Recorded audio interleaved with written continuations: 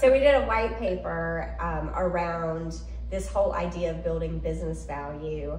And one of the things that we found out in the research is that when you build a strong brand orientation, it can increase your EBITDA multiplier at the time of sale or when you're seeking investment by up to 20%, which is pretty significant.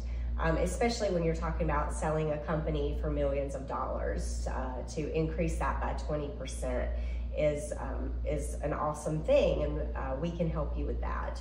Um, the way we figured that out really is by talking to experts in the field. Uh, we interviewed valuation expert, we interviewed um, a M&A consultant, and we interviewed a CPA that helps companies uh, buy and sell their businesses.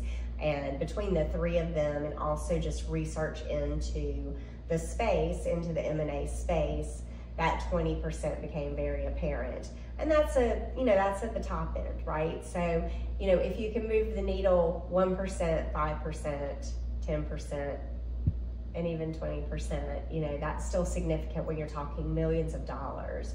Um, and so what we're trying to do when we do branding for our clients is create that consistent identity that really differentiates you from your competitors. And that differentiation is the key to a strong brand orientation because you're creating that control of your market.